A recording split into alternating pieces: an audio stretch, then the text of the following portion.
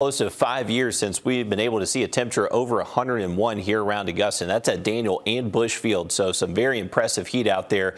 This is a look over downtown Augusta, but this is a zoomed in view from our Beech Island camera. And you can just see that hot haze just engulfing the city and not much rain out there the rest of this evening. If you are stepping out, we do look to stay dry, but expect some very uh, hot weather out there.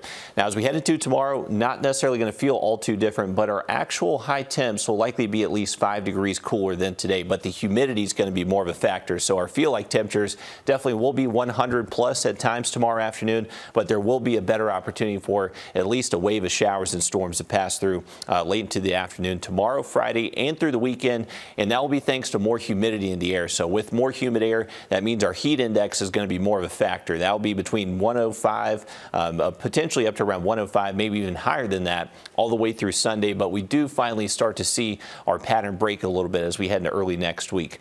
Here's a current look at our radar network. This is going to be our cold front that gets a little bit closer tomorrow, and that's where our better storm chances are coming into play. But for the rest of this evening, this little trough was able to kick up a few storms that were near I-95, but those have since come to an end and not really anticipating much wet weather for the CSRA the rest of tonight.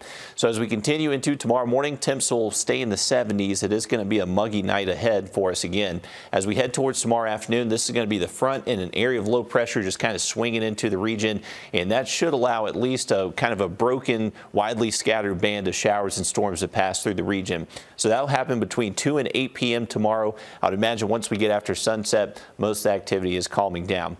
Heading into Friday, that front doesn't really push all the way through. It just kind of stalls out, and that's going to keep the rain chances in play Friday. And since we're just not really going to see that front move south of us, hot temps at least into the mid 90s Friday with feel like temperatures back up to around 105, maybe even close to 110 through the weekend.